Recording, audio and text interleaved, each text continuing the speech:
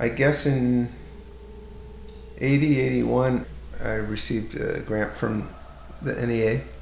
My proposal was to create an ensemble that would bring the different musical camps that are located in Los Angeles together and do uh, uh, write some music for that. So I I actually got a composition grant and another grant to actually do the performance.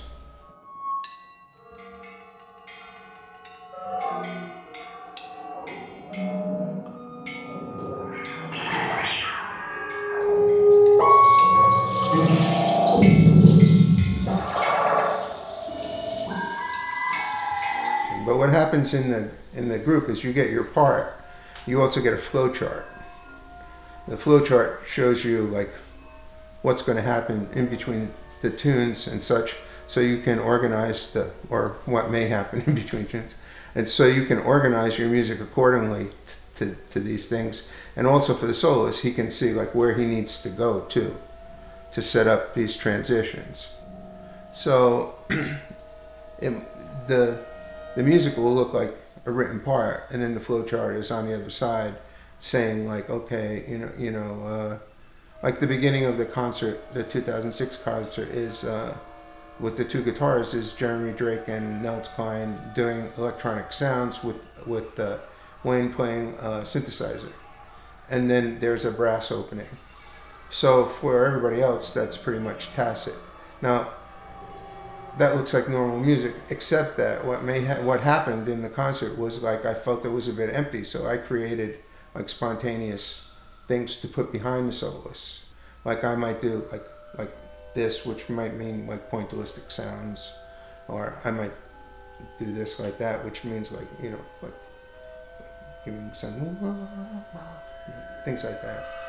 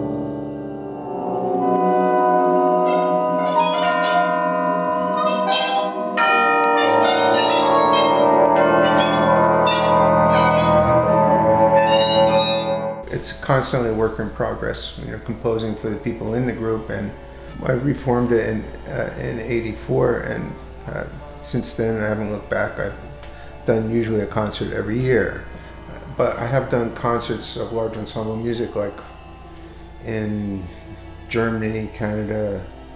Uh, I'm doing one in Ann Arbor, Michigan, in uh, October. Uh, so it's constant. You know, I just uh, last year I did one in St. Louis with some of the members of the uh, St. Louis Symphony and such. So so there's a, a, constant. I'm constantly working on on music, and it's constantly evolving.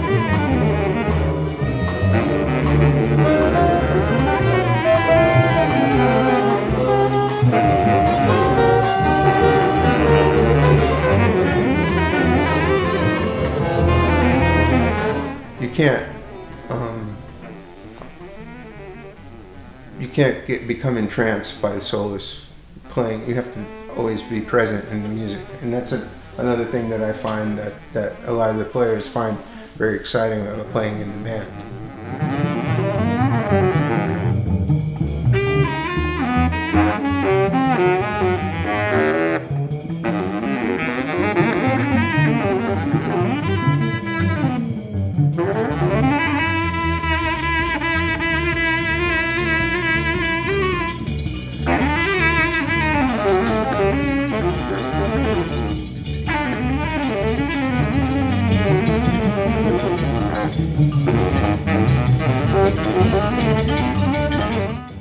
The audience has input into actually what happens because of their um, vibration, because it's a communication cycle where the band is playing, they're listening, and then they're sending back their attention to us, and basically they can have an influence on how the music goes by their presence in the music.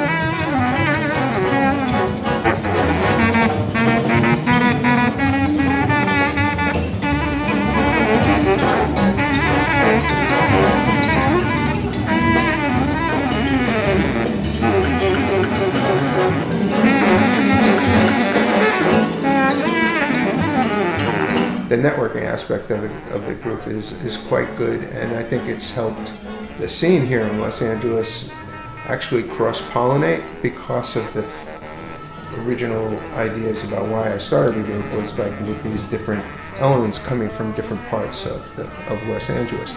So in, in some ways, it's kind of a unifying factor, and it also unifies a lot of the audience because people do come from all over to see it. I mean, uh, that particular show at Red Cat in 2006 was sold out for two nights.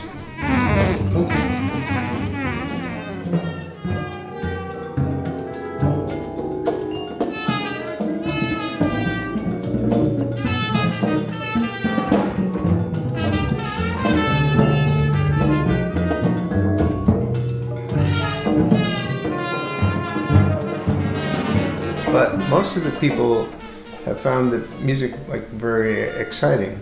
Uh, not only because of the written music, uh, which is very nice to hear, but also because of the and mostly they react to the colors in the band and the and the soloists in the band.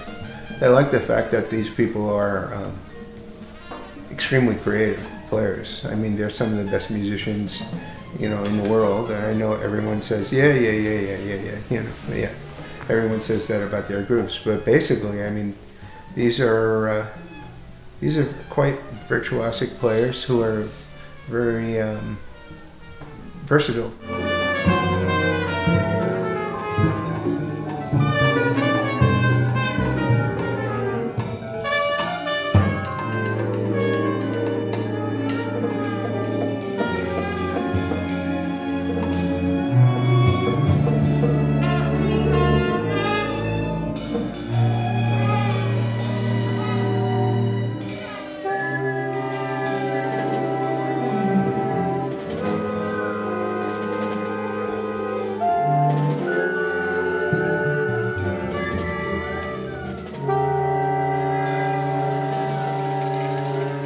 I like expanding into the more classical areas because of the um, the uh, the sounds and, and colors you can get from double reeds and strings and and you know muted brass and and, and et cetera et cetera. That you know I, I think it's always been an interest of mine and I think it's it relates back to my beginnings as a as a painter.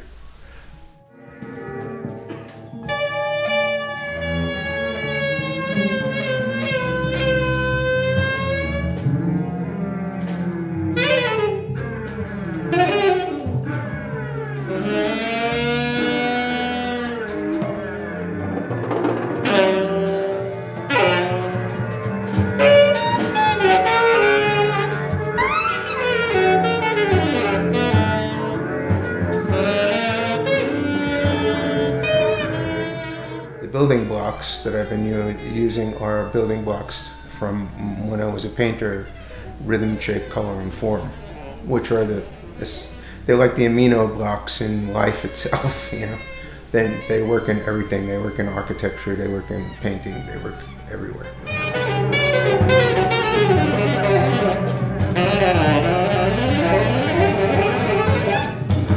When I came up, I had a certain extension of, of color that I wanted to do, and that's what I'm pursuing. The way I, the way that I hear it, I wanted to find the bridges between visual and sound.